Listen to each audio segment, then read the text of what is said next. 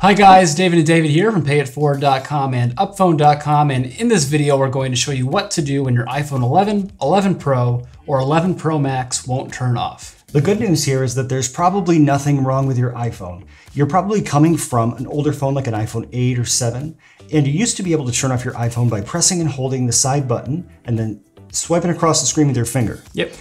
That process has changed a little bit with the newer iPhones ever since the 10. So let's just show you first how to turn it off. Sure, so simultaneously press and hold the side button and either volume button. I'll use the volume down button. Mm-hmm.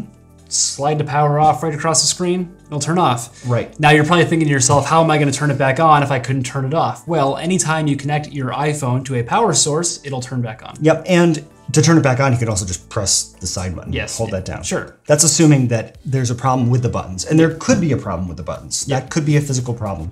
But the way that we're going to test that is we're going to use the software shutdown process, which is also relatively new for iOS. Mm-hmm. So let's go to settings and scroll down to general and then scroll all the way to the bottom and tap shutdown.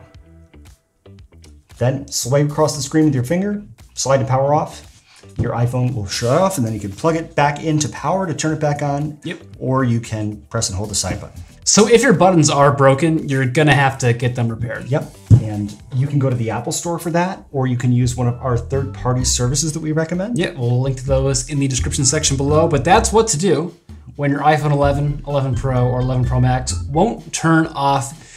Give this video a thumbs up if you found it helpful. Leave us a comment down below with any other questions. And don't forget to subscribe to this channel for more great iPhone videos.